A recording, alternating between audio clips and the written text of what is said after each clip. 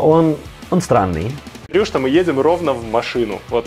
Слова он наполовину неправильно детектит просто. Ну, еще делать всякое дерьмо он может, например. Растут прям физически. То есть все в этом направлении двигаются, потому что ты прав. Это...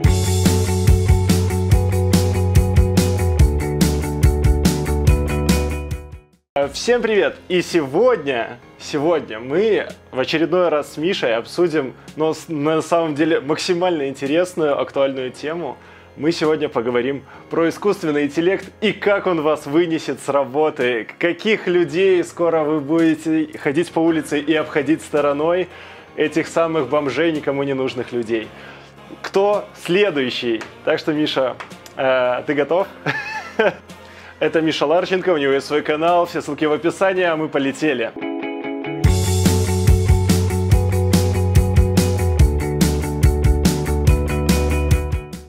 Что мы успели пройти за все это время? Смотри, а, аж с 1950 года с машины Алана Тьюринга мы полетели через э, Artificial Intelligence, э, IBM, Deep Blue. Помнишь такой был? Вроде бы. Обязательно. Да, который в шахматы умел играть. Вот. А дальше Apple со своими крутыми штуками, встроенными в телефон. И вот уже 2014 год, АИ, э, колонка от Амазона, которая умеет с вами разговаривать. Это же изменило все, да? Вы же говорите Siri, говорите «Привет, Siri». Вот. Э, и так далее, и так далее. И вот смотри, 2020 год. Мы уже искусственным интеллектом изучаем и определяем максимально быстро, даже через телефон, ковид. И вот еще чуть-чуть, и OpenAI GPT-3 релизнут, и на нем сделано множество приложений, его можно использовать. И на самом деле многие компании сейчас сливают свои AI-разработки в open source. А знаете почему? Знаешь почему? А? Нет? Без да? понятия. Потому что не найти разработчиков. Вот, очень простой ответ. А все, все по очень простой причине. Людям тяжело втянуться. А, есть какой-то большой барьер в, с, с людьми на улице, и люди, которые реально делают искусственный интеллект, что-то прокачивают, двигают на следующий барьер.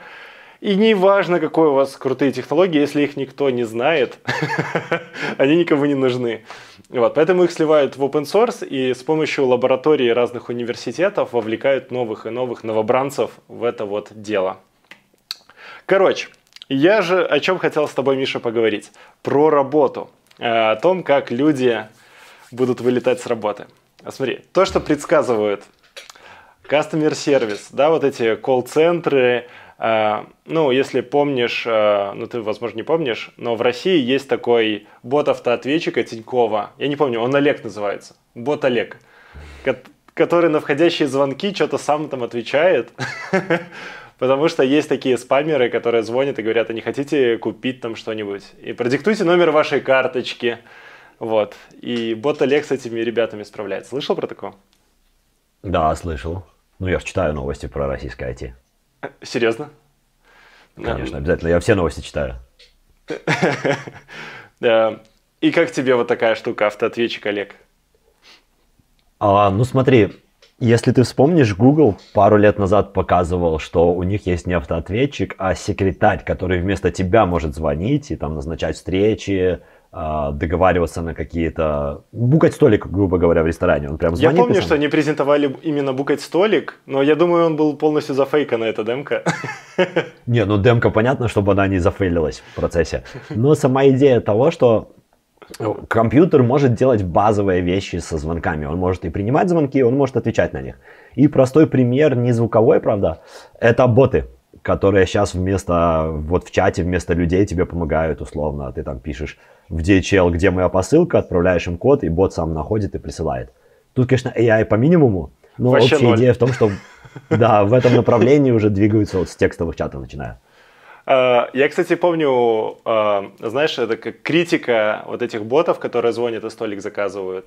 А, критика заключалась в том, что ну, он же, он пытается по сценарию идти, типа, а подскажите время, и пытается там вычленить, там, скажите номер, они не, не могли бы повторить дату, там, ну, так, такие какие-то штуки. А люди такие, а, и бросают телефон просто. И у Гугла, я помню, были люди наняты, которые в этом случае, если бот там попытался несколько раз, его там дропнули по дороге с его скучными вопросами, то включался чувак уже с колл-центра и там такой, типа, давайте разрыв. И вот в каком-то таком режиме оно работало. Ну, оно хотя бы работало тогда. Я уже давно про это не слышал, думаю, что Google забил немного. Да, я думаю, думаю, Google понял, что просто людям впадло там сидеть, слушать вот эти очень культурные речи, когда людям нужно, мне нужен столик, все, когда, тогда, все, отлично. А вот такой, извините, пожалуйста, уважаемый сэр. Да, ну вот если говорить о профессии, как э, колл-центр или тот же секретарь, то это те профессии, которые достаточно легко заменить, хотя бы частично уже сейчас. То есть не там где-то в будущем, а прямо сейчас ты можешь принимать звонки, назнач... если кто-то хочет тебе назначить встречу. То есть твоя задача распарсить голос. Опять-таки, зачем там AI? Не, ты парсишь голос, голос вычленяешь просто там время, место. Мне недавно вот стала задача вот в похожую тему про секретарей. Я не знаю, я с друзьями созваниваюсь, делаю звонки, и мне иногда интересно сделать разбор, о чем мы там наговорили, о чем мы там договорились. Когда много разных людей, и мы раньше так записывали, типа делали пометки, типа важно, не важно, каждый сидел, делал пометки. А я подумал, а что если мы вот просто поговорим, включим э, запись голоса где-нибудь на каком-нибудь девайсе, а потом кинем какой-нибудь нейронки и что получится? Насколько аккуратно она это сделает? И я реально был удивлен. Я нашел просто в, в open, ну, как бы, типа, лазил на сайте, нашел просто сайт, который умеет voice э, декодинг делать. Я туда ему за- скормил. Он там попыхтел немножко, там, пару минут. И выдал мне вот прям стенограмму, типа, персонаж один говорит, персонаж второй говорит. Он там Нормально. разложил на персонажа. Я посмотрел, что он там по тексту давал ну прям супер литературно, все, супер аккуратно, точки, запятые, все везде стоит. И я прям такой, вау, вот это, вот это уже нужная штука, я могу книги писать таким образом. Сели по ролям, поиграли. Да, так и делает. Она вместо, если надо большой текст написать в заметке на айфоне или большое сообщение, она включает там голос, просто говорит по-русски, и он текстом все записывает тоже запятыми, с точками, с восклицательными знаками, достаточно корректно. Да, и я думаю, что да, э, профессия писателей, она будет э, претерпевать разные, разные новшества. Если вы не используете нейронки для того, чтобы писать э, свои книги, вы вылетите. Или журналисты, напрягитесь, там, хватит писать свои маленькие статьи. Слушай, ну, у Гугла, вот возьми ютубчик, я заливаю видео, он же сам субтитры на твоем языке делает. Да, При том, да. что у меня вроде бы нормальная речь, но мои слова он наполовину неправильно детектит просто. Если включить мои автосубтитры, тоже. там какая-то херотень. Мои тоже. Я, я смотрю такой, боже, боже, боже, как плохо. Но вот, но вот эта нейронка, которая просто кастомная какого-то там Васи Пупкина в интернете, вот она сделала все хорошо и точки расставила. Я был удивлен просто по сравнению с Гуглом. Это был какой-то next level вообще. И, и я понимаю, что Google это прям вообще не показатель качества перевода. У Гугла большая проблема. У них есть свой тензор чип, ну, они же пытаются mm-hmm. за Apple идти тоже, все свое. Но он, он странный. А у Apple, вот если брать как основу, с которой Google просит, пытается копировать, у них же есть эти искусственные интеллектовые ядра, которые да, могут да, да, использоваться да. в процессоре. И они работают классно.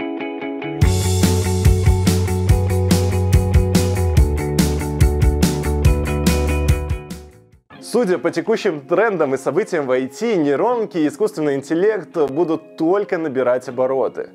Поэтому специалисты по работе с ними уже сейчас нужны почти в любой отрасли. А в России им готовы платить около 200 тысяч рублей, а на западных рынках еще больше. Стать дата-сайентистом и влиться в IT реально для этого нужно приложить некоторые усилия, упорно учиться, делать домашки, общаться с практиками и не забросить на полпути. И онлайн-школа Skill Factory дает такую возможность. Ты можешь освоить профессию дата-сайентиста на программе, созданной в коллаборации с МФТИ, а это ведущий вуз страны. Так что это крутая возможность э, получить качественные знания и самое главное применить их на практике. Все обучение строится вокруг э, реальных кейсов от компаний-партнеров, таких как э, Сбер, ВК или Алиэкспресс. Ты получишь опыт работы и сформируешь портфолио уже во время учебы. А подтверждением твоих навыков будет э, документ от МФТИ. Ты не переживай, если ты новичок. Программа ориентирована на обучение с нуля. Ты сможешь самостоятельно выбрать и время, и темп обучения. А на протяжении всего курса у тебя будут опытные менторы, которые тебя будут будут поддерживать из различных IT-компаний. А Центр карьеры поможет составить э, резюме и трудоустроиться по новой профессии, что очень круто. Э, нейронные сети уже сейчас активно меняют привычный нам мир, так что если ты хочешь работать в интересных проектах и иметь финансовую свободу, э, то оставляй заявку по ссылке в описании или по QR-коду на экране а по промокоду Малькевич у тебя будет скидка аж 45%. Так что мы продолжаем, а ты подумай.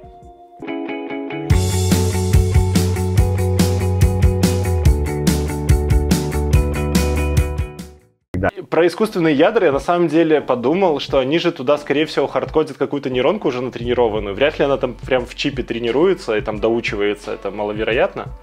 Скорее всего, один чип, один кейс. Ну, как-то так. То есть я думаю, что он скорее хорошо всего, может обли... лица и количество чипов плодится. Да. В 14 Pro iPhone уже дополнительный и чип для изображений только добавился. Бля. Куда мы идем, ребята? Куда мы идем? Остановите планету, я сойду. Больше процессоров. Ох, ну, ну это хотя бы будет какая-то гонка AI-чипов, э, видимо, в ближайшие годы. Камеры уже все, хватит. Короче, я хотел немножко еще проговорить. Давай. Потому что у меня есть тоже свои какие-то штуки, которые я нашел, и меня они реально поразили. Они поразили мое воображение. Я сейчас быстро проговорю.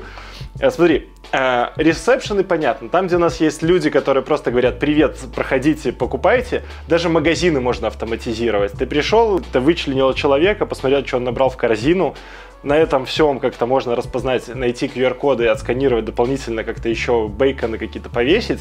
Ну, короче, если магазин немножко протюнить, то мы получим, что правильно, как в Амазоне магазин. Ты зашел, набрал покупку, вышел, и он сам, сам тебе с карточки списал. Все супер, э, Безос вообще радостный ходит, э, блестит своей лысиной.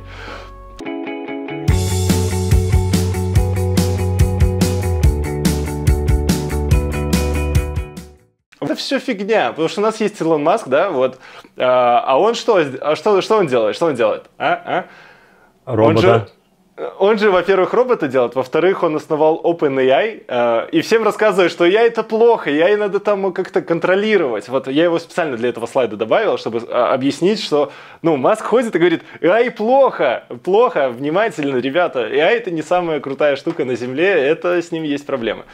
Э, вот, смотри, какие проблемы.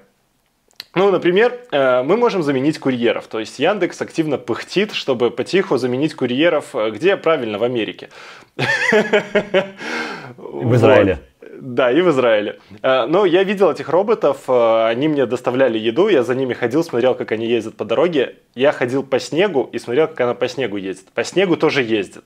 И прикольно то, что люди им помогают. То есть, если они видят, что такой робот застрял, они реально там пойдут ногой пнут его там что-нибудь как-нибудь. В общем, кейс хороший, рабочий. Но смотрите, курьеров дофига. Со времен ковида курьеров стало, ну, наверное, в раза три больше. То есть эти бизнесы кричали все, что они вообще в космос растут, надо срочно бежать в курьеры. Или делать какие-нибудь приложения по доставкам. Вот. А, второе. У нас же есть еще самоездящие телеги, и когда все вспоминают про AI, я думаю, на бытовом уровне, то все сразу вспоминают, о, у нас же скоро будет автопилот, Тесла там, туда-сюда. Но кроме Теслы делает Яндекс, делает э, Вайоми, э, Вио, ну, короче, гугловская вот эта штука. Они же тоже делают автопилоты. Uber там соревнуются. То есть, то есть там много компаний, и все по-разному пытаются все делать, размечать как-то и туда-сюда. Но там с этим есть вопросы. Я неожиданно поговорил с инженерами Яндекс Телег, э, которые вот эти, да, Э, я с ними поговорил, и они мне рассказали пару кейсов, где роботы не справляются. И объяснили, почему они считают э, масковский автопилот говном. Э, но они сказали, представь, ты едешь по снегу, ну вот нету разметки, просто ну, насыпал свежий снег, которым ничего не видно, просто ровная дорога. И у тебя белая стена впереди. По фотографии, куда ты поедешь. В стену. Куда-то в белое. Да, то есть э, роботу по фотографиям нужно видеть горизонт. То есть если он не знает, где горизонт, то все. Он теряется в пространстве и делает, что хочет. И мне там ребята... немного все сложнее. Ну, там я... же стоят лидары. Лидары а, сканируют. У, у, у Теслы нету лидаров. У, у Теслы нету, у Теслы нету лидаров. Есть лидары. Есть лидары? Самый большой лидар был впереди, он был черным, если ты вспомнишь самую первую Tesla S, у нее был страшный перед такой с черный глянцевый. Да, да, да. Это да, был да. огромный лидар в самой Серьезно? первой версии. А, я не знал, я думал, они без лидаров ездят. Не, они с а. лидарами, но я тебе сейчас сразу расскажу, что пока мы далеко не ушли. Я же брал Tesla 3 на тест-драйв. Да, да, да. И я, я ездил, естественно, с этим чуваком, там, он мне все показывал, и мы стали на светофоре, и машину справа, от нас справа стоял мини-купер, ее просто не увидела. То есть ну, вот на компьютере на экране показывала, кто вокруг нас стоит, и справа не было никого. То есть она его вообще не детектила. Так что, ну, может, уже пофиксили, это было года три назад, но... Мне рассказывали, как пользоваться парками аттракционов. Я боюсь кататься на горках, ну, вот, вот такая вот у меня фобия. А мне сказали, если ты аттракциону не доверяешь, то на нем страшно ездить. Ты садишься такой, он меня убьет, все, тебе гамон. Но когда ты решаешь, ну убьет и убьет, я ему верю, все нормально. Там пофиг, что мы там 200 километров в час летим лицом к земле, все окей. Так и должно быть. Вот, тогда все нормально. И мозг как-то так отрабатывает. И я на самом деле с такими мыслями страха сел в Яндекс телегу, я на Яндекс э, такси там катался, где впереди водителя нет. И знаешь, я еду, смотрю, что мы едем ровно в машину. Вот припаркованная машина, и мы ровно в нее летим. Просто он еще скорость набирает. Я думаю, ну вот, вот и все, вот и покатались. Но он так чик перестраивается, но это очень жуткий момент, когда руль сам там подкручивается, когда ты уже готов там к столкновению. Вот, и, ну, они, люди, конечно, говорят, что вот еще чуть-чуть автопилот, но я не верю вот в ближайшем времени в автопилот такой полноценный, где-то я вызову там Яндекс Такси какой-нибудь, или там Болт, или еще что-нибудь, и меня реально куда-нибудь завезут без человека. Я еще верю, что человек приедет, будет сидеть бездельничать, вот, но без человека, ну, не ближайшие пять лет, сто процентов. Я был очень оптимистичен по этому поводу, особенно когда Маск сказал, что они будут Tesla 3 лизинговые не перепродавать, а будут открывать свой сервис, где они будут как такси. И я помню, что я думал, от, лет 5 осталось, и машину продам к чертям, буду вызывать Теслу, она без водителя приехала. Прошло уже 3 года, да, ничего да, не поменялось, и начинают запрещать этот автопилот еще больше, я такой, ну, наверное, это не работает вообще. Да, я думаю, что они столкнулись с нерешабельной проблемой, и их оптимизм упал, потому что они на самом деле очень тихо так перешли на роботов. Они везде рассказывают про роботов, я смотрю, так за маском слежу иногда. Вот, он везде рассказывает про роботов, а про автопилоты, машины, он такой типа, ну, там, типа, что-то есть, мы что-то там обновим к концу года. Я думаю, все Ну, как бы, может, ему уже не интересно просто. Не, я думаю, что просто они не могут это сделать, и я думаю, люди начинают что-то подозревать. Но роботы, роботы тема, смотри, э, потому что роботы, они на заводах, роботы делают машины, роботы делают других роботов. И вообще, я на самом деле, у меня есть друг, который колхоз купил. Э, так вот, э, я покопался в теме колхозного земледелия и узнал, что они там используют. И роботов там вот прям немало. Ну, то есть, если...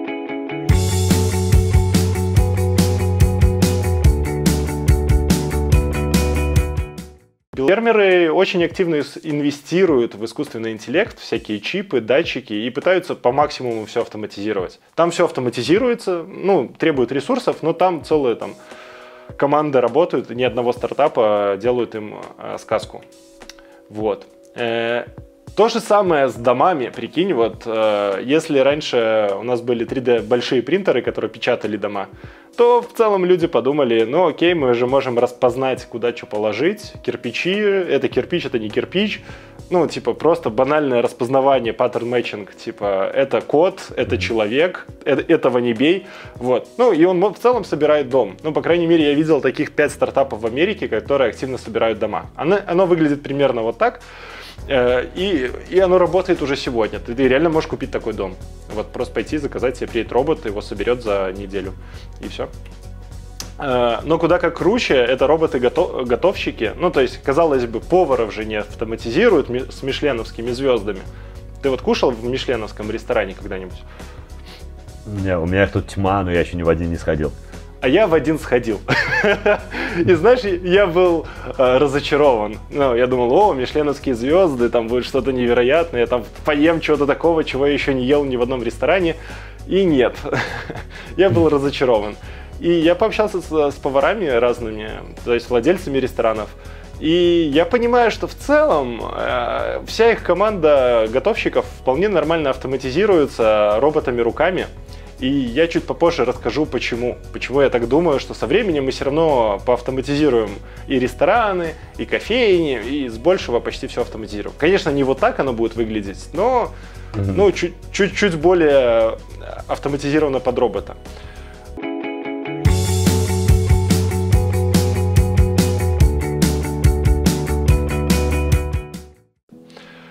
Но даже Дисней, вот, я люблю Дисней, я обожаю Дисней, потому что у них есть Disney Research, такой сайт, они публикуют свои исследования в, области искусственного интеллекта, всяких вещей, и там есть такая крутая штука, они пытаются автоматизировать нейронками эмоции актеров.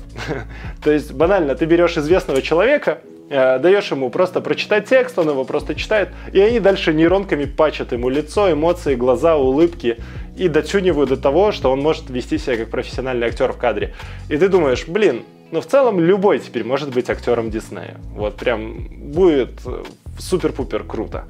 А, и оно уже сегодня работает. То есть это не что-то, что когда-нибудь Дисней внедрит. Он внедряет это в каждый фильм. Так что знай. Э, не каждый актер там должен быть профессионалом. Может быть просто чел с улицы. Если это Дисней. О, это же, это же целый рай для родственников умерших певцов. Да и актеров тоже. Это ж теперь они мертвые могут сниматься в кино и петь песни, вот как Тупак концерт давал. Ну, ну или как, как Майкл Джексон, он же там все еще назад. выступает. Да, да, да. Вот. И получается, что в принципе ты можешь новую музыку тоже, по сути, можно не писать. Один и ту, одну и ту же можно теперь годами петь, концерты устраивать. Там будет голографический AI-чувак прыгать. Да, и будет работать. Да. И при том, что музыку тоже можно нейронками писать. То есть я следил за группой Black Eyed Peas, да? Э, там, mm-hmm. там они были популярны в какое-то время. А, так вот, у них есть продюсерский центр, где у них уже накоплено много нейронок, и они просто берут любую мелодию, закидывают в нейронку, она их пачет там еще какими-то вариантами. И они, по сути, делают то же самое, что делает Midjourney. Они закидывают разные сэмплы, нейронка выкидывает им какие-то варианты, они такие, о, этот неплох, этот неплох, и вот так вот собирают песню. Э, в целом у Яндекса есть нейронка, которая рифмует. Ты можешь закидывать тоже рандомный текст, и она делает какую-то стрёмную рифму. Но в целом сам процесс написания песен и битов, он плюс-минус частично автоматизирован. То есть я думаю, у лейбов есть уже какие-то такие более продвинутые проги. Нам они недоступны, потому что они вряд ли лежат такие на гитхабе в open source. Зашел, скачал, собрал себе лейбл. Но, но э, оно движется. И вот как раз про это мы и говорим. Но тут же еще такая штука, по поводу музыки AI. Чувак же нагенерил с помощью искусственного интеллекта год назад, или когда в одном миноре все возможные звуки вообще выложил в open source. И сказал, да, что его искусственный интеллект может нагенерить вообще все. И получается, что создание музыки будет проще, плюс с копирайтами не будет проблем, потому что уже нагенерено все, и если ты типа придумал, то как бы это не ты придумал, вот оно бесплатно. Так что есть. И э, по поводу нейроночек, и музыки, и текстов а, кто-то делал. Я уже забыл, но тексты можно тоже писать, уже там люди пробовали. Они прям генерят, они скармливают музыку искусственному интеллекту, и он по этой музыке пишет текст, чтобы он под биты попадал, под ритм, вот это вот все. И я, да, появится, наверное, целая века, веха, вернее, э, вот этих вот музыкантов, искусственных интеллектчиков, которые не будут вообще ничего писать, и тексты, они будут просто свое лицо подставлять и AI будет эмоции рисовать, вот тебе клип, вот тебе музыка, вот тебе и музыка, и, и все, все, Блин, все. ну, ну ты думаешь, что они появятся? Я думаю, они появятся очень быстро. Я думаю, Эд Ширен это такой чувак. Ты думаешь, почему он так быстро песни придумывает? Все, мы его раскусили. А, ну это, не, это ж попса, это как в анекдоте, да, я пока от кровати до туалета дошел, три удачных альбома сочинил. Поэтому... Ну, в любом случае, э, я, думаю, я, кстати, слышал еще от ребят, что есть задачи наоборот. Ну, вот у тебя есть музыка, и ты ее в обратные части разбираешь на отдельные составляющие. То есть делаешь декомпозицию обратно. Мелодия, э, бит, э, музыка, голос. Ты просто разобрал, и дальше можно там уже что-то еще дополнительное делать. И ребята работают в эту сторону, и есть тоже уже куча-куча-куча всего в open source, который в целом позволит себе такой редактор собрать. Ну, почему ритм, например, прикольно? Ты вынес ритм, можно ролик нарезать теперь под ритм. Да. Тык-тык-тык-тык-тык. Что, в принципе, Apple и делает на своих устройствах, но, правда, калично. Ну, как умеет, подожди, надо еще натренировать. Я, я думал, блин, ну вот, в целом все, что нужно, чтобы делать прикольные клипы. Заливаешь там каких-то рандомных роликов, тебе там берет музыку, там что-то генерит. Ты потом еще сам чуть-чуть правишь, и отлично, и все, полетели. Но нет, Apple, Apple бросил это на полпути. Короче. Кто-нибудь сделает, кто более заинтересован в музыкальной индустрии. Эх, я заинтересован, но у меня просто нет времени. Когда-нибудь запущу свою группу. Эм,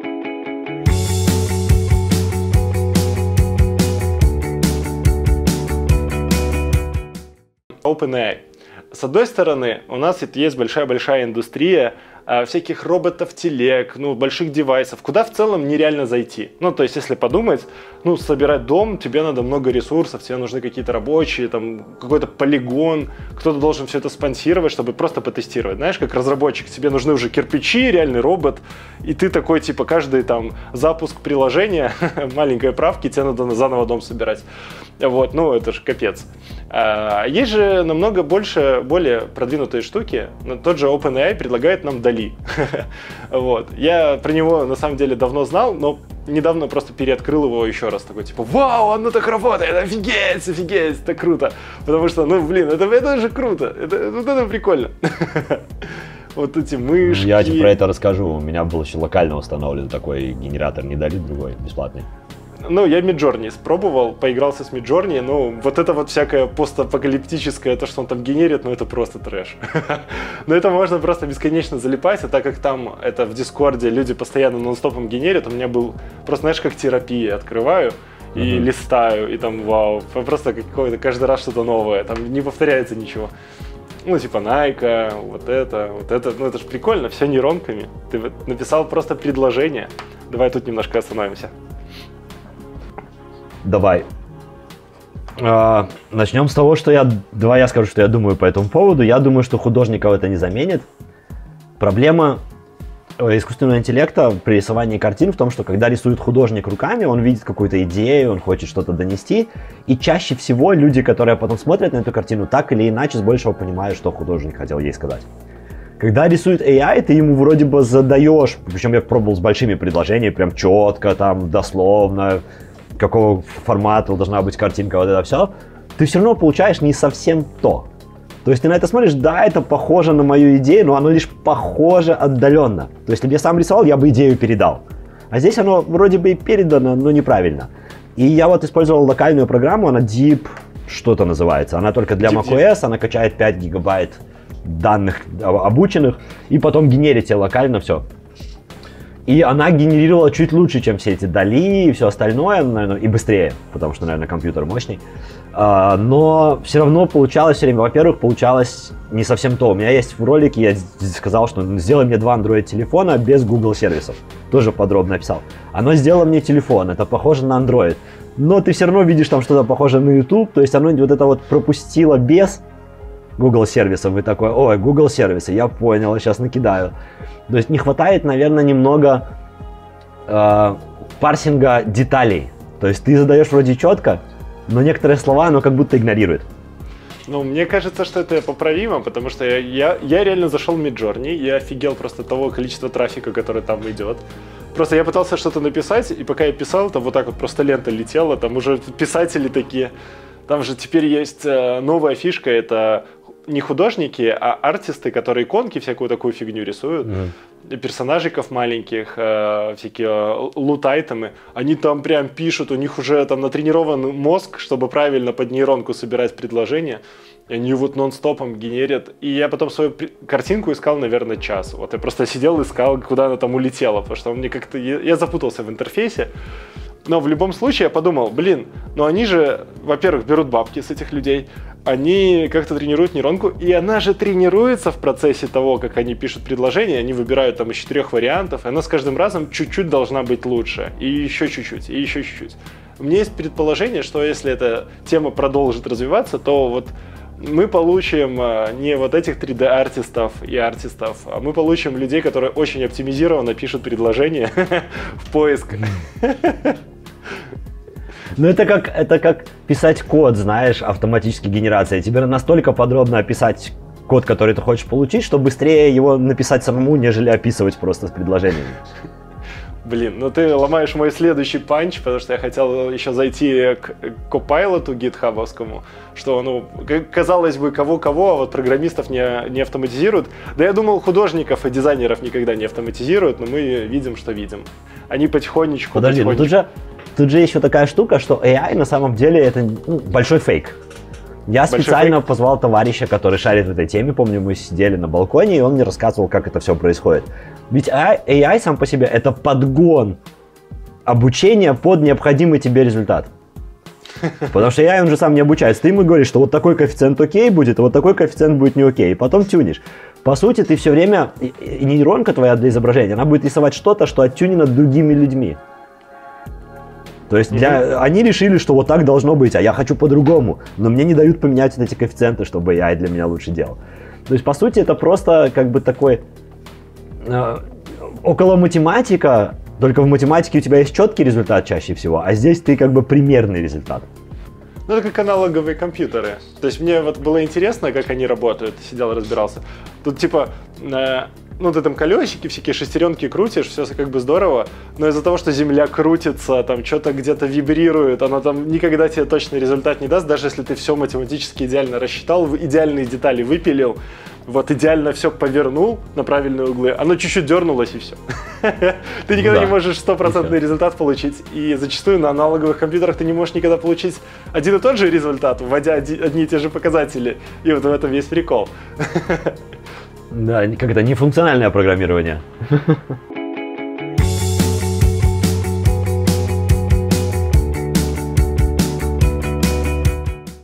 Давай более предметно поговорим еще про нейронки, потому что мне эта тема кажется не исследована до конца, особенно нами. Давай.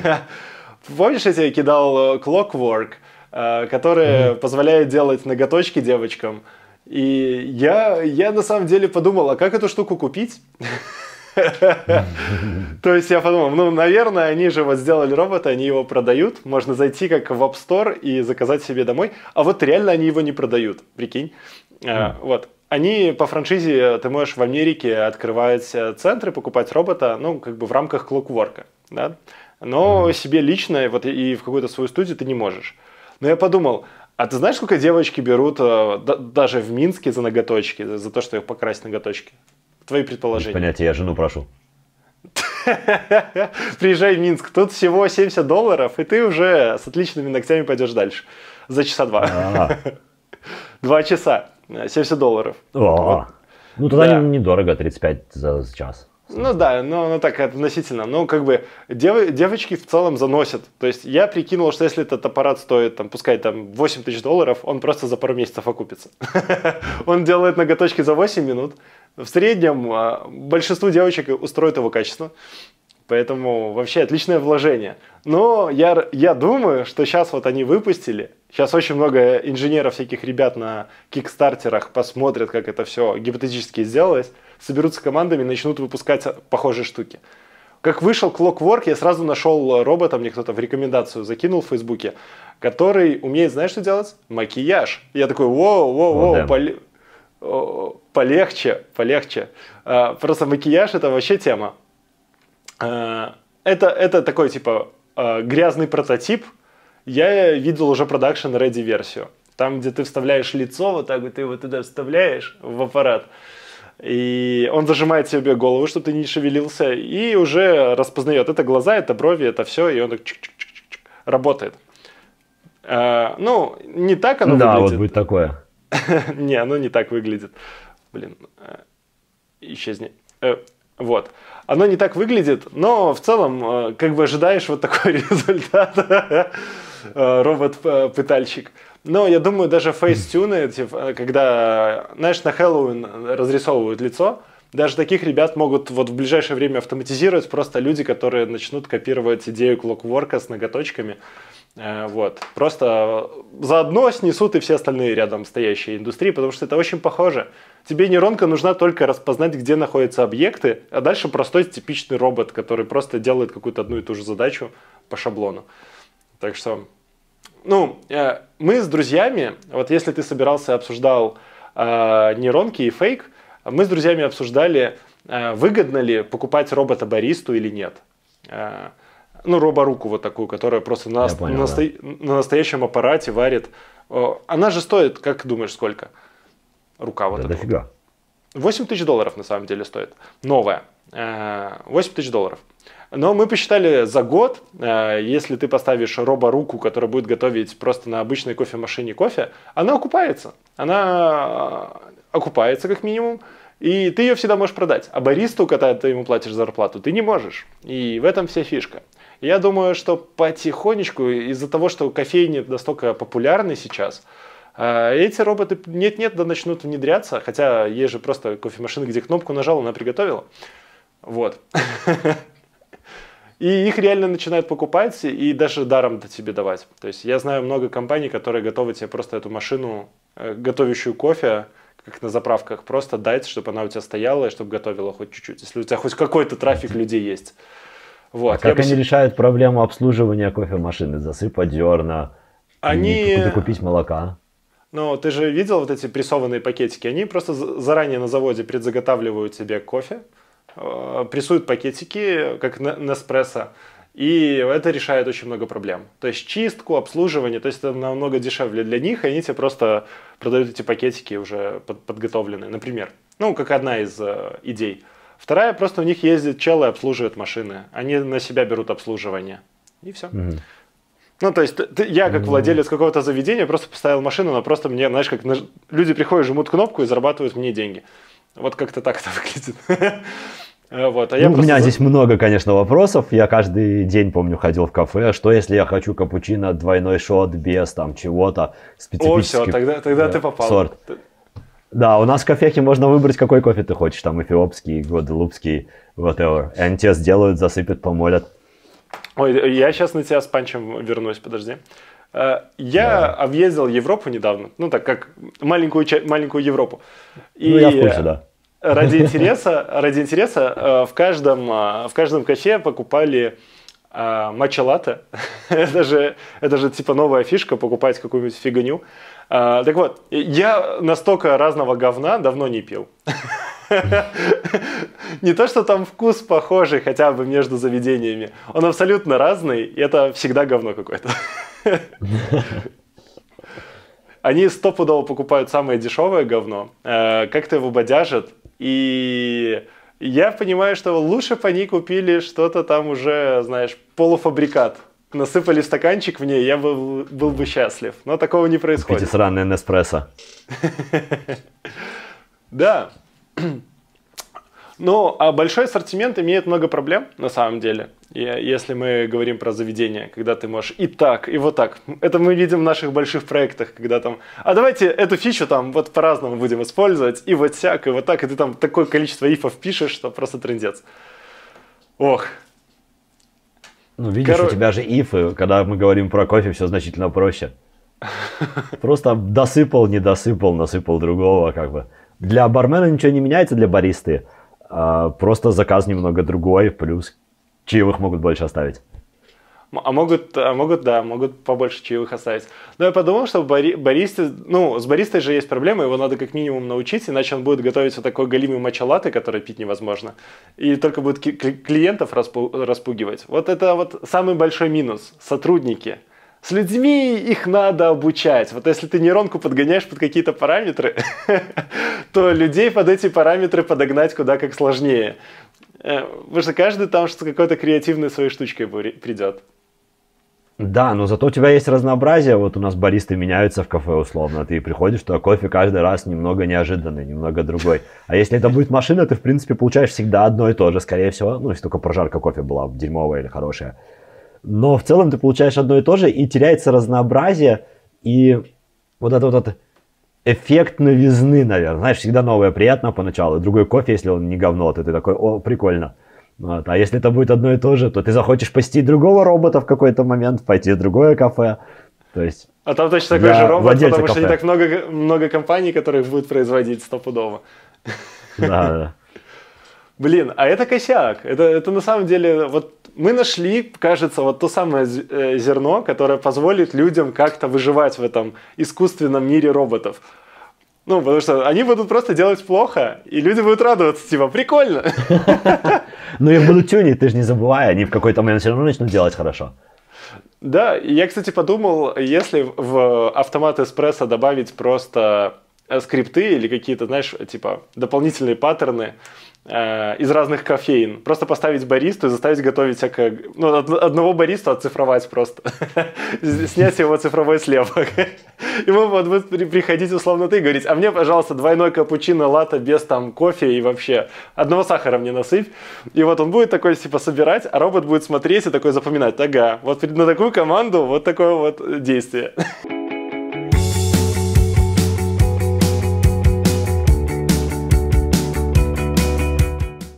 Я еще всегда задумывался над этим вопросом, а может ли робот с искусственным интеллектом самообучаться достаточно далеко? Ну, то есть сейчас ты делаешь сетку под нейросеть под какие-то конкретные задачи. Ты ее тренируешь, подгоняешь коэффициенты, скармливаешь кучу там обучающего материала, но ты не можешь сделать искусственный интеллект прямо сегодня, который может и кофе делать, и картины рисовать, и музыку писать, и код писать. У тебя да. недостаточно ресурсов в компьютера будет, у тебя недостаточно обучающего материала, потому что тебе надо собрать на все эти темы. Людей, которые могут подгонять коэффициенты, они должны разбираться в этих темах. То есть я пока не верю, что у нас в ближайшее время, по крайней мере в обозримое ближайшее время, появится искус, иску, э, условный альтрон из Железного Человека, который прям все может выучить на любую тему. То есть ты говоришь, что Маск зря боится искусственного интеллекта открывает компании? Ну, он чересчур рано боится искусственного интеллекта. Мне кажется, я, мне этот вопрос был интересен. Я, мы как-то в прошлом выпуске про там а, эти квантовые машины а, обсуждали. И я понял, что цифровыми чипами нейронки учить это просто бред. ну, нашими процессорами, которые там да, нет, если, или там да, нет, или. А, вот. И этими процессорами цифровыми учить нейронки это просто мазохизм. Надо бесконечное количество ресурсов, надо отдельную там, не знаю, ядерный реактор ставить и вот просто на этой мощи, мощи гнать просто. Так, кто-то пошел. Это искусственный там, интеллект. Там, там Даша пошла. Распознал. Короче, э, но аналоговыми компьютерами, то есть если делать аналоговые какие-то тренажеры для а, робота, дать ему какой-то, там, не знаю, способ обучения, то возможно, возможно. Но это, опять же, пока мы не пришли к этому какому-то девайсу для обучения роботов.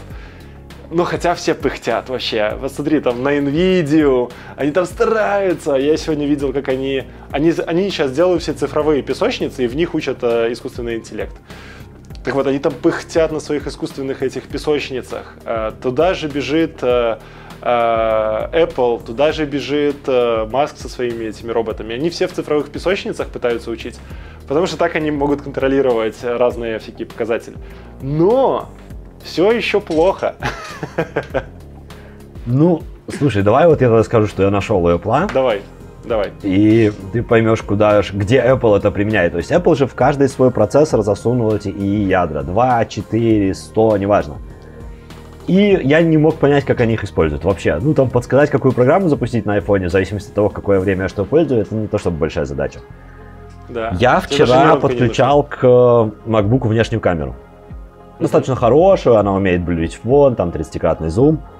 И полез в настройки, если ты пробовал новую macOS, ты можешь подключать iPhone, вот я сейчас записываю тебя отдельно на iPhone через OBS, ты можешь подключать удаленно и выбирать там портрет функцию, то есть фон замазанный, там э, Central Stage это называется, когда если два человека отзумливает, подзумливает.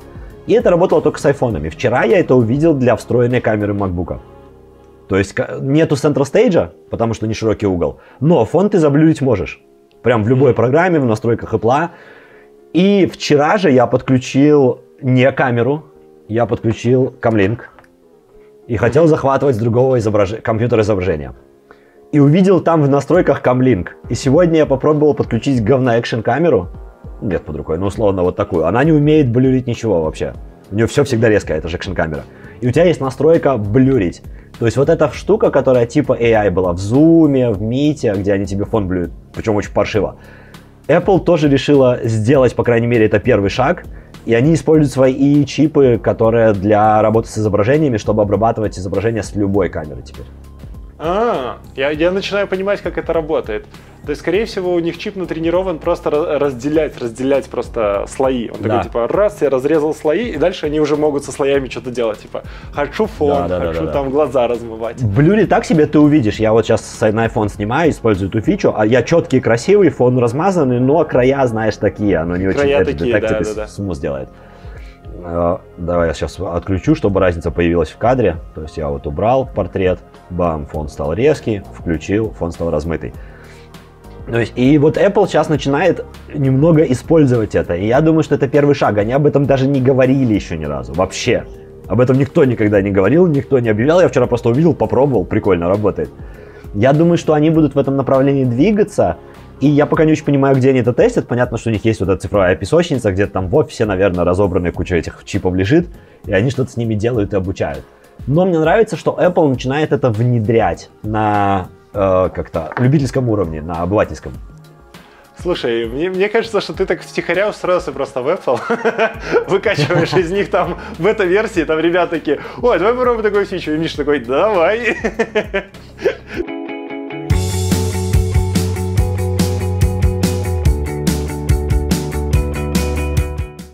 Даже, ну ты там упоминал, я думаю, надо поговорить о программистах AI. Это прям очень больная тема. Давай. Давай поговорим про... Я просто не, не в теме программистов AI. Мне кажется, что они просто ну, бездельничают. ты слышал? Про Copilot слышал, но мне кажется, что они просто мое предположение, как работает Copilot, они просто берут э, средний код э, среди всего того, что они есть на GitHub, оцифровали в базу, в эластик положили, я пишу, и он просто по эластику в этот момент ищет и мне подкидывает э, снапшоты каких-то кодов. Ну, судя по отзывам, я сам не пользовался. У меня было желание, но меня не пустили в бету, и поэтому я уже триал-версию не стал пробовать обиженный. Но э, пишут люди, что он отдает код, который реально просто код из других репозиториев. Да, он может, наверное, распознать, что ты примерно пишешь, и подсунуть тебе нужный кусок кода. Но это не кусок сгенеренного кода, это кусок кода, который украден в open source. А, и вот тут сразу проблема возникает. А, Python имеет ошибку 15 лет, который супер небезопасная, там extract all, может любой файл на компьютере прочитать. Об этом 15 лет известно, Естественно, никто это не закрывает. Снова стала шумиха по этому поводу. Они выпустили просто предупреждение документации побольше, покрупнее, что алло, там все плохо. И дело в том, что Copilot подсовывает экстрактол. То есть, если ты используешь Copilot, то ты будешь получать, как это, vulnerable, да, этот опасный код. Блин, я подумал, что таким образом можно делать атаки на Copilot. Ну, ты берешь просто, создаешь триллион репозиториев каким-нибудь ботом, заливаешь туда какой-то снипет, ну, на самую популярную операцию, например, когда ты пишешь да, for да. each, там reduce, там что-нибудь такое. И вот Copilot со временем начинает подсовывать твой костыль всем. Скорее всего, так и будет. Потому что он определит, что много репозиториев, делающих плюс-минус одинаково одно и то же. И особенно если будет там много звездочек каких-нибудь и пару форков, он такой классный репозиторий, буду код использовать. Я, я просто видел, как то точно так же э, натренировывают и раскручивают э, Google нейронки, которые рекомендационные. Не видел никогда? Создают Ну, я только эти, каналов. которые в Google Maps видел. А, короче, создают триллион каналов, ну, какое-то большое количество и начинают туда заливать 15-секундные ролики. Вот. Ну, там просто ролики однотипные. Вот возьмут с твоего канала, например, ролик, нарежут на 15 секунд и просто зальют вот просто такими снапшотами, просто огромный датасет на один канал, потом на другой канал, начнут сами лайкать эти каналы между собой. И со временем YouTube такой, блин, ну этот чувак, он интересный. Если везде еще будет написано Миша Ларченко, они такие, ну, наверное, ну, люди смотрят, как-то много он там контента постит. И нет-нет, вот это говноролики, говносылочная роличная масса начинает продвигать твой основной канал. И вот у тебя миллионы просмотров. Да. Но чтобы вот эту машину с автопостингом, я заметил, там просто бот постит каждые там минут 20, он заливает туда ролики. Вот, он ну, даже одни и те же заливает. Он даже одни и те же ролики заливает. То есть просто берет и раз в день перезаливает заново ролики туда. И оно реально работает. Алгоритмы Гугла вот быстро перестраиваются и начинают тебя в рекомендации выводить. Так что не все честно в этом болоте ютуберском. Так что знаете. Это да. Давай Тут еще, еще, пару тем. если говорить про AI, кстати, программистов и вот эту всю штуку, и YouTube, то алгоритмы, они же тоже как будто бы, как будто бы AI. Понятно, что там сложная формула, она необычайная. Алгоритмы. Ты А Google мы говорил, пришли там к- же тоже тренирует. Мы пришли к реком- рекомендательным алгоритмам. Это тоже часть AI на самом деле, плюс-минус. Но она работает проще. Но я был удивлен, я на самом деле был удивлен, потому что я сидел, гуглил, как делать рекомендательные сервисы сейчас. Это не вызывает какой-то трудности. То есть, когда ты начинаешь понимать, что тебе нужен рекомендательный сервис, начинаешь понимать, что тебе нужно в твой сайтик допилить. Когда ты это все сравниваешь, понимаешь, что допилить-то вообще надо такую маленькую писюлечку, вот маленькую кусочек положить. А, а люди даже не вкурят, что там и вот эта вот маленькая фича, вроде бы полезная, она реально на рекомендательный сервис только работает. Вот. А дальше у тебя обычный паттерн мэтчинг, и даже не такой, который нужен нейронке. Это же все ложь. Для рекомендательных сервисов э, нейронки в целом не нужны. Тебе нужны графовые базы данных. Ну, ты же будешь делать поиск в графе. Вот. И графовые базы данных работают в этом плане очень быстро, и они очень простые. То есть кажется там, типа, как же работать с графами?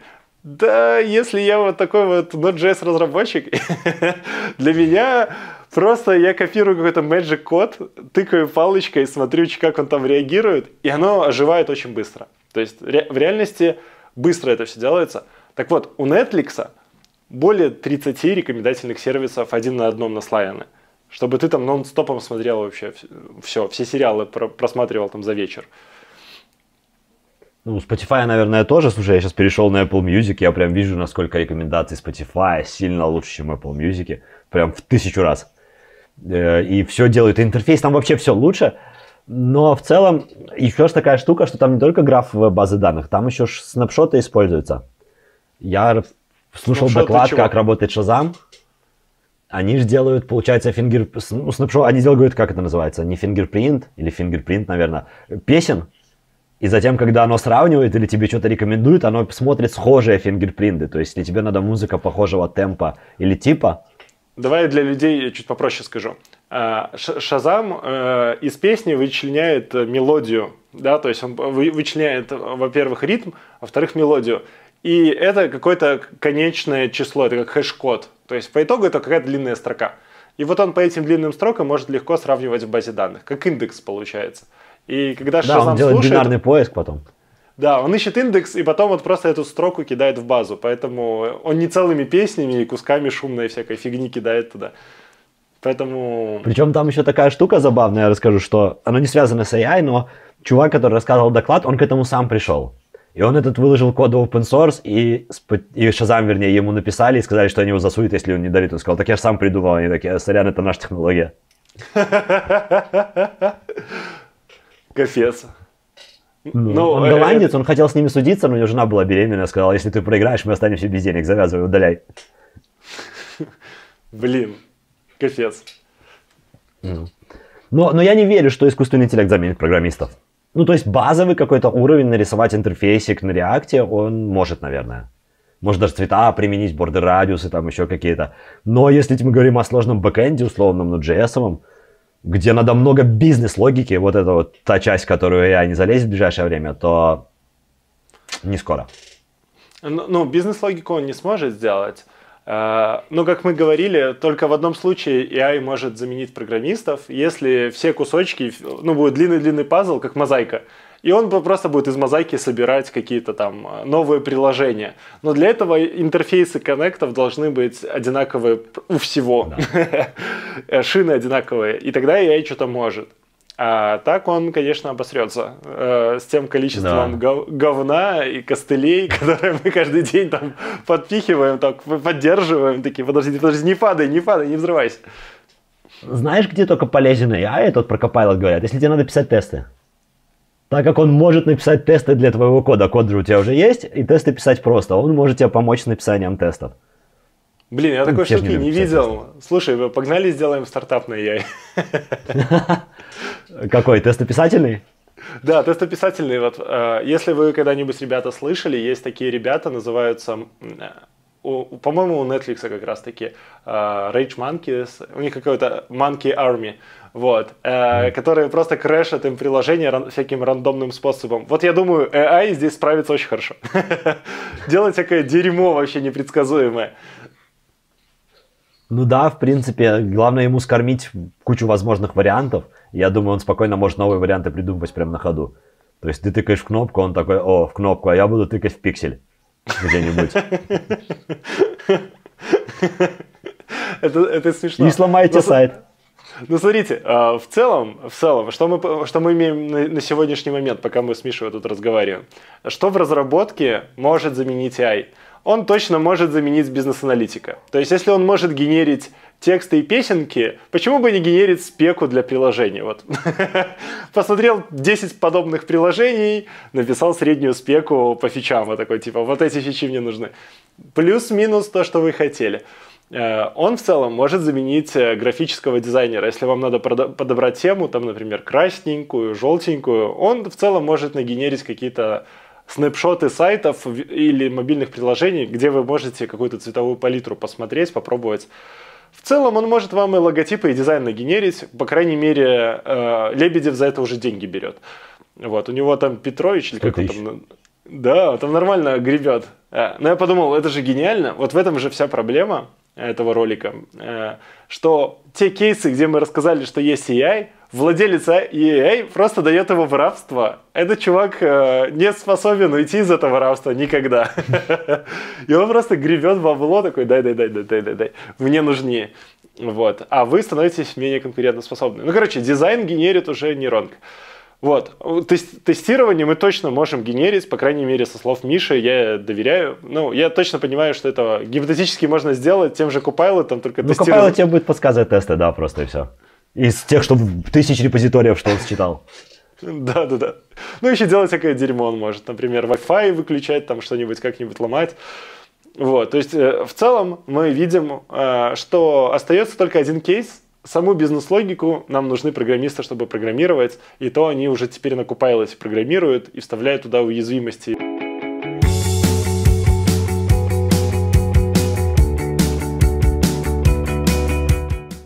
Мне недавно рассказали кейс, который э, про медицину очень классный. А что, если у тебя есть снапшоты того, как меняется твое здоровье? То есть у тебя есть какой-то эталонный, например, снапшот. Вот типа так бы я хотел себя чувствовать, а у тебя есть снапшоты изменения твоего здоровья. То в целом э, нейронка могла бы подсказывать, что поесть вот тебе. Не калории считать, а в обратную сторону. Типа, сходи поешь вот этого э, чтобы ты был более здоровый. Э, да, это наша речь. Нейронки это уже умеют делать очень хорошо, очень много всего есть. И они все примерно одинаково работают, то есть эта тема хорошо изучена, и на ней можно делать много всего. Вот. Но я никогда не слышал, я лично, про Quantum Computing AI но, видимо, он развивается. Делает невероятные вычисления, чтобы подкинуть вам рекламу какую-нибудь очередную. И я никогда не слышал про... компьютинг. Да, я никогда не слышал про AI, который IOT, который про мир умных вещей. Вот я там слабо представляю AI где-то там. Ну, возможно, возможно, там тоже что-то можно сделать. Но вот там, где все, что касается аналитики, какой-то предиктивности, предсказаний, гаданий на картах Таро, AI просто великолепно может справляться. Эм, и, и все. И остальные вещи, которые тут подсвечены, фуфло. Короче, э, самое главное... Подожди, вернись назад. Давай. В Healthcare еще AI используется для определения потенциальных же болезней? Да, Тот же Apple ну, так делает потенциальных болезней. Я не знаю, делает ли это Apple. Вот я сильно сомневаюсь. Делает, делает. Вот, он может детектить, типа, по изменениям твоего давления, например, температуры и всего остального. Ну, сейчас они сделали акцент на менструации. Ага. То есть он может там что-то определять, предупреждать, что она начнется раньше, позже и так далее, по изменениям там температуры и крови. И если говорить о умном доме и искусственном интеллекте, То самый банальный пример, его уже давно все пытаются сделать, ни у кого не получается, это определять, чего не хватает в холодильнике и сообщать тебе о том, что надо купить. Я, я, я вижу большой-большой большой рынок, да? Давай сначала будем отцифровывать людей, пускай они хотя бы там будут сдавать какие-нибудь анализы, будем видеть, что им не хватает в организме, от этого будем делать предиктивный анализ того, чего не хватает у него в холодильнике, и будем это сразу закупать на Алиэкспрессе или на каком-нибудь э, сервисе доставки, который будет роботами доставлять. Полная автоматизированная цепочка обслуживания людей. По крайней мере, не умрут Вполне реальная, кстати. Ну да, вполне, вполне такой бизнес-кейс. Все, короче, закрываем ноутбуки, идем делать бизнес. Без ноутбука не сделаешь, том-то и проблема. Сказали один кейс, который я вот э, задумался. Э, есть болезнь, которая ведет к слепоте, предположим. У тебя какие-то палочки в глазах умирают. Так вот, э, чтобы эту болезнь как-то держать в узде, тебе надо каждый год ходить к врачу. Неожиданно, но на миллион жителей каждый, ну, каждый десятый болеет такой болезнью. То есть, ну, это какой-нибудь mm. там э, сахарный диабет второго уровня. Вот. Но он ведет к слепоте, вот просто по прямой дороге. И чтобы ты не ослеп, тебе надо каждый год сдавать э, анализы у глазного. А глазных врачей профессиональных – их немного, и на общую кучу людей их не так много, чтобы обслуживать, например, с 10 миллионного города, ну, миллион людей в год.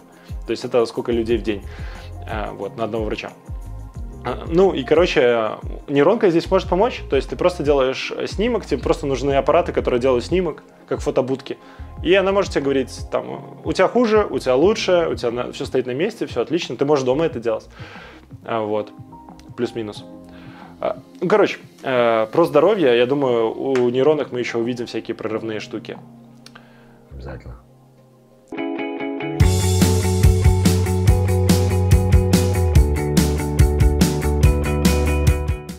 Чипы это, это огромный тренд. Смотри, какой большой тренд. Э, нейронки с чипами, ой, то есть процессоры с чипами э, искусственными и без чипов. То есть, если мы не будем пользоваться чипами, то уже в этом году производительность реальная наших телефонов и компьютеров, ну, не будет так сильно расти. Ну, все, она уже, наверное, доросла до максимума, плюс-минус. Но если мы начинаем внедрять чипы, мы видим, как график начинает подниматься вверх.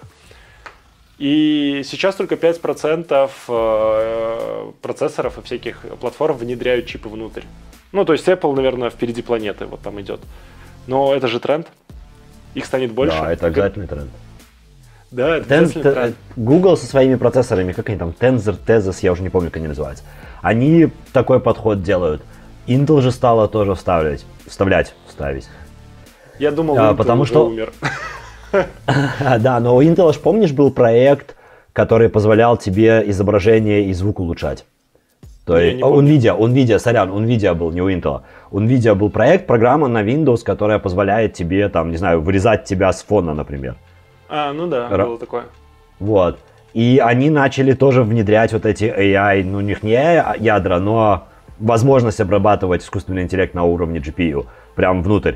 И Intel свои процессоры ставит, они уже объявили по новые эти там 12-го поколения, наверное, они процессоры, там тоже есть выделенное что-то под AI. То есть все в этом направлении двигаются, потому что ты прав, это сказал глава NVIDIA, что больше закон Мура не работает мы больше не да, сможем да. видеть, как быстро будут расти ядра и увеличится количество транзисторов. Вот, и поэтому мы видим, надо привыкнуть к тому, что... Как чипы растут. Количество чипов да, э, да. в вашем телефоне. Чи... Нет, это мы видим у Apple, да, чипы растут прям физически. Но в том плане, что производительность больше 2х не будет. То есть мы уже, ну, как ты говоришь, хорошо. уперлись почти в потолок, и теперь движение будет медленное. А цены да. будут расти быстро. Да, поэтому мы получим э, практически на 40% вырастут э, количество процессоров э, с AI в наших телефонах. А это приведет к чему? Мы получим новые какие-то фичи и вообще получим новые какие-то тулы для того, чтобы мы могли это использовать в своих каких-то программах. Э, и кейсы, которые раньше требовали там крутого инженера, который должен во всем разбираться, и ай, как там тренить и так далее, он не такой большой будет на него спрос, потому что эта вся ниша придет на бытовой наш программерский джаваскриптовый уровень, и мы сможем многое, я думаю. Особенно в AR, прикинь, как AR поднимется. Это же капец. Ух, очень сильно. Потому что тебе надо, чтобы, опять-таки, искусственный интеллект, чтобы разделять там то, что ты видишь в кадре, условно. И, да, и дорисовывать да, еще. Apple, да. я думаю, уже умеет. Ну, а э, в ближайшее время я думаю, что это просто перескачет и игры какие-то. Плюс еще, я думаю, AI, я видел на конференции тоже NVIDIA, по-моему, они в играх дорисовывают поверх всех изображений, когда ты уже там, а, у тебя мощный комп, ты там э, все директы повключал, DirectX на максимум, там вулкан, ну, короче, все, все, что можно, ты на максимум выкрутил. И они умеют частицы дорисовывать какие-то мелкие, там, огонька, там, вообще просто какие-то красивые, уже нейронкой дотюнивать дальше. Вот. То есть, я думаю, для игр мы увидим еще более реалистичные, более красивые игры. Хотя, как мы говорили в предыдущем видео, э, вот эта виртуальная реальность будет говном. Вот, так что нормальные игры будут тюниться, а VR будет говном. Э, Кстати, и небольшая послед... вставка про виртуальную реальность, пока ты не пришел. Walmart открыл магазины в Роблоксе для того, да. чтобы продавать товары детям прямо в игре.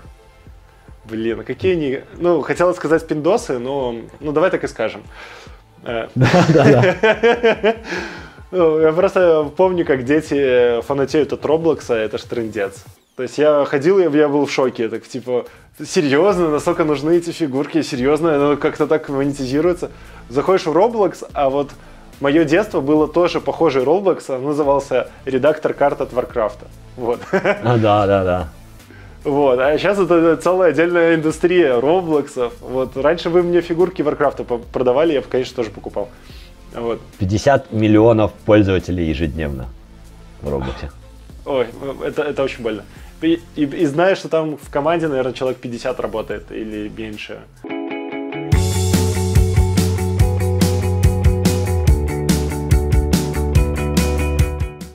Дальше мы видим, что AI сам по себе это уже рынок, на котором люди уже торгуются, зарабатывают и внедряют это везде. Ну, например, тот же Image Recognition, он же в большинстве случаев происходит на сервере, а, то же самое с видео, да, если ты пользовался там Watch или так далее, какими-нибудь приложениями, которые тюнят там ролики, они изначально выгружают какую-то карту твоего ролика на сервер, там делают предобработку фильтрами, и потом тебе скидывают уже на тренированную нейронку под это видео, и у тебя локально еще там что-то дообрабатывают. Это идет через плюс-минус сервер. Вот. И на это есть спрос. Есть спрос у социальных сетей, есть спрос у Марка Цукенберга, есть у Pinterest, у всех. Все хотят что-нибудь тюнить с видосами и картинками.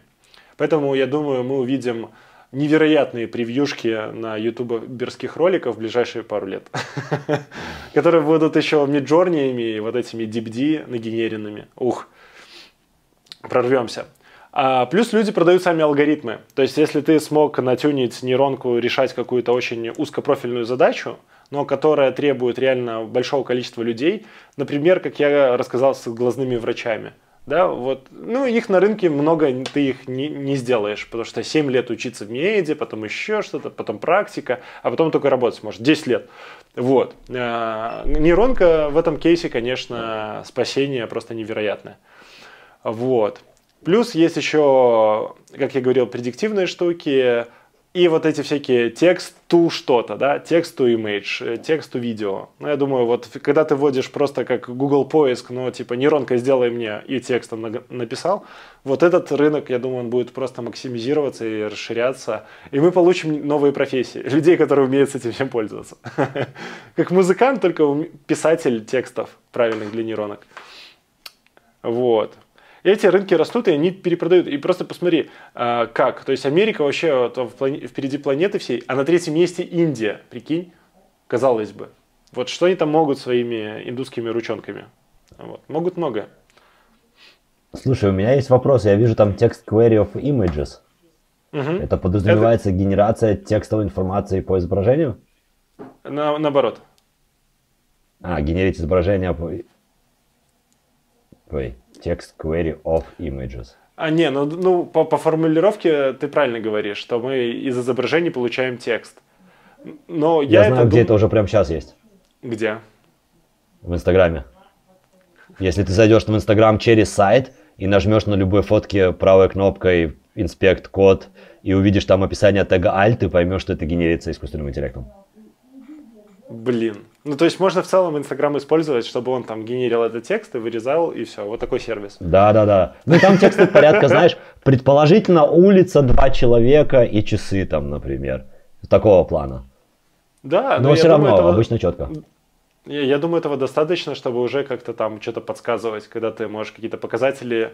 Ну, по сути, мне для программы нужен какой-то ввод, да, чтобы как-то программа дальше уже бизнес-логику прогнала. Ну, любой. Пускай mm-hmm. это массив э, тегов.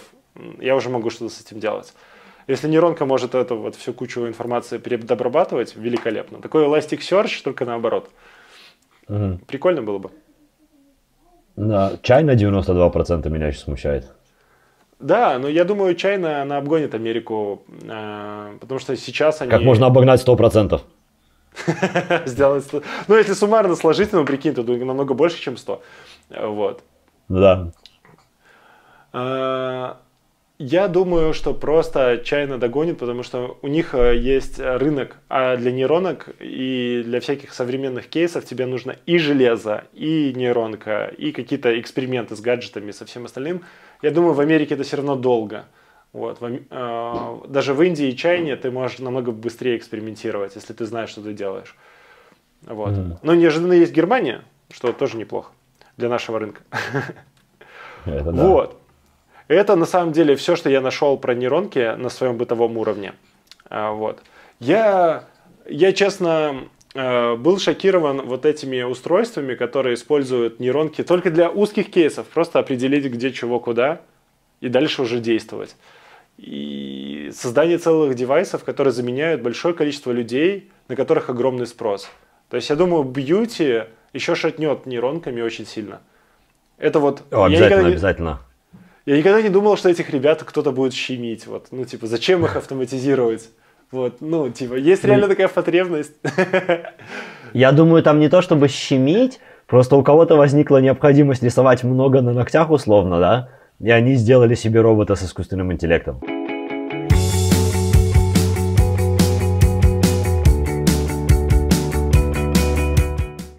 Интеллектом. Ты Илон Маск? Э, где Илон Маск? Это нейронные сети рисует Илона Маска. Да, да, да. Это дипфейк. Блин, было бы смешно через год снять э, дипфейковые ролики. То есть ты собираешь себе дипфейк, я собираю дипфейк, и мы так общаемся. Надо снэп... Можно обмануть это все, поставить снэпчат камеру, я был бы там бананом, а ты огурцом. И у нас бы был разговор банана и огурца. Э, ох, это современные тренды.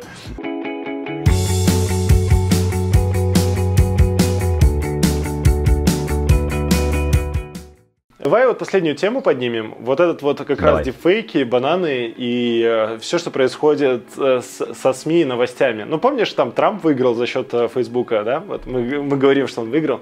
Вот. Э, но в любом случае фейкать новости, фейкать э, людей, фейкать э, образы там, спикеров и так далее, это вышло на какой-то невероятный уровень. Просто за каких-то там 3-4 года, и мы такие, вау, вау, вау, уже очень реалистично. Там, если ты не знаешь, куда смотреть, ты никогда не догадаешься. Что ну, ты, это что будет думаешь? большая проблема, огромная, причем она опасна скорее для известных людей, нежели для обычных. То есть понятно, что обычные могут поверить в дипфейк, и это может быть проблемой. Но большей проблемой будет для того, дипфейк на кого сделали. Потому что ты не знаешь, что там скажут. Возможно, тебя подставят. Возможно, подставят твою страну. Возможно, войну начнут, потому что два дипфейка, один условный Путин, второй условный Трамп, поругаются где-нибудь в интернете. Да? Это, это такое будет, а дипфейковые новости, ну, с этими проще. Уже сейчас есть сайты, генерирующие эти новости. Ну, не генерирующие, а где люди пишут эти прикольные новости, знаешь, не настоящие. Мне кажется, большинство людей, по крайней мере, могут уже отличать, где фейковая новость, где не фейковая. Но не все. Я думаю, очень маленькое количество умеет. Ну, то есть я пару раз ловил себя на мысли, когда этот а, фейковые новости репостили.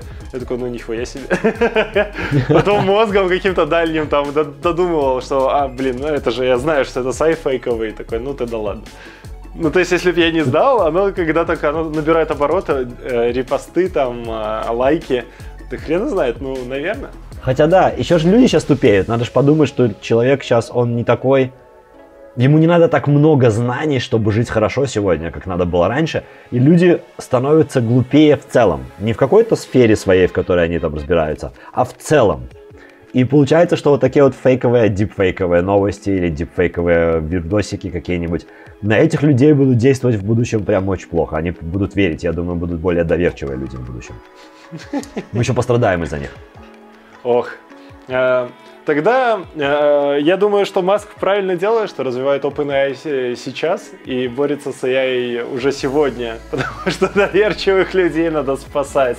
Потому что на бытовом уровне, на самом деле, я честно замечаю, как э, э, меняется рынок. Ну, то есть, э, то есть, если мне, например, три года назад или четыре было непонятно, то я сейчас понимаю, что, окей, если я владею нейронкой, то э, обычный человек со знаниями со мной уже не посоревнуется. Я просто его ценой и чем угодно, просто перформансом задавлю.